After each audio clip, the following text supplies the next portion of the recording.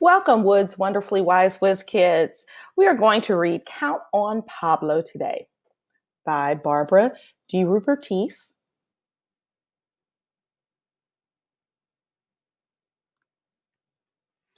It was market day.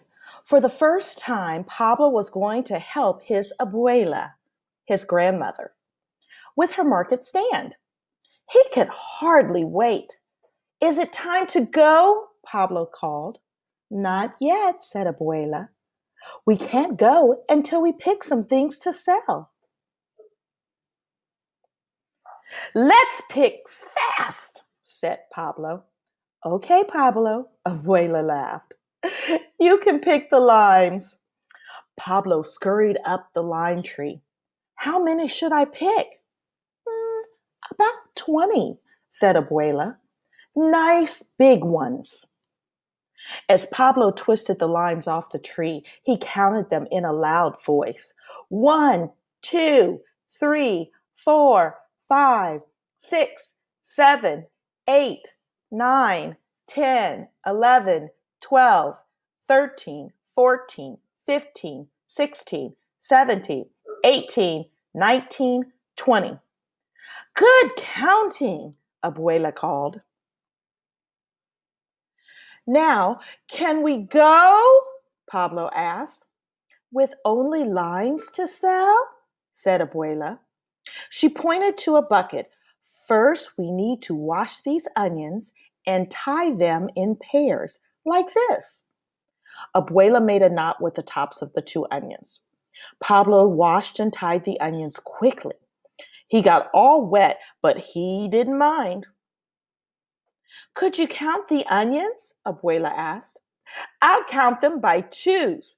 That's a fast way to count, said Pablo. Listen, Abuela. Abuela listened. Pablo counted.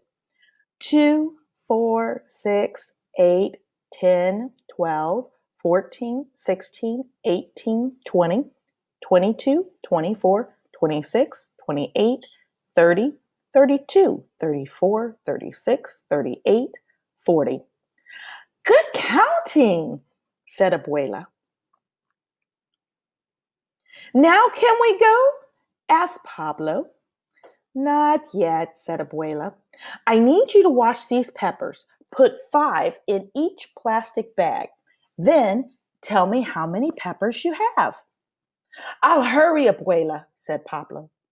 He washed the peppers very quickly and got even wetter but that was okay with Pablo.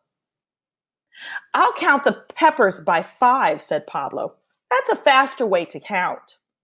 5, 10, 15, 20, 25, 30, 35, 40, 45, 50, 55, 60, 65, 70, 75, 80, 85, 90, 95, 100. Good counting, Abuela called. Now are we ready? Pablo asked. Then he saw that Abuela had five buckets of tomatoes. Oh no, cried Pablo. We'll never get to the market.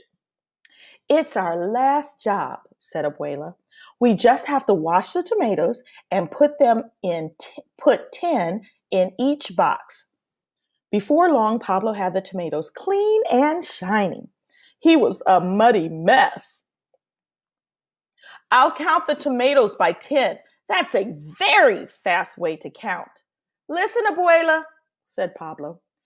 10, 20, 30, 40, 50, 60, 70, 80, 90, 100, 110, 120, 130, 140, 150, 160, 170, 180, 190, 200. Good counting, said Abuela. I almost forgot the cilantro, Abuela said. She tucked a little bunch of the herbs in each box of tomatoes. Isn't that pretty, Pablo? Very pretty, said Pablo. But can we please go to the market now? Abuela shook her head. One more thing needs to be washed. Pablo knew she meant him. I'll really hurry, he said. In no time, he was all cleaned up and they were on their way. Finally, said Pablo. The market was crowded and noisy. Everywhere Pablo looked, he saw people selling the most wonderful things. There was even a band playing music. There are so many stands here today, Abuela said. I'll make our stand look the best, said Pablo. Tell me again how many we have of everything, said Abuela. You count and I'll check. So after Pablo set up the stand, he counted by tens, by fives, by twos, and by ones. You're a good helper and a very good counter, said Abuela. Pablo and Abuela waited for shoppers to come. Many people were at the market, but nobody stopped at Abuela's stand. Nobody at all. Pablo began to worry. What if Abuela didn't sell anything? Hours went by. Still, they had not sold a thing. Pablo was getting hungry. May I buy a bag of tortilla chips from Senor Garcia? he asked. Yes, said Abuela. I'm a little hungry too. Pablo bought a big bag of chips. As he walked back munching, he thought, I wish I had some. Suddenly, he had a great idea. Abuela, he shouted. What is it? asked Abuela. We can make salsa to go with these chips, said Pablo. Everything we need is right here one lime, two onions, five peppers, and ten tomatoes. And a little bunch of cilantro, said Abuela. Making salsa is a wonderful idea, Abuela said.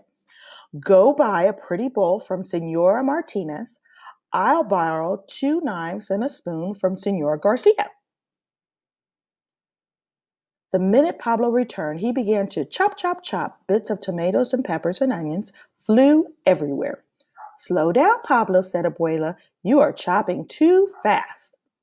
Abuela squeezed the lime juice into the bowl, then Pablo mixed the bright colors together. Let's taste it, said Pablo. Pablo scooped up some salsa with the tortilla chip and popped it into.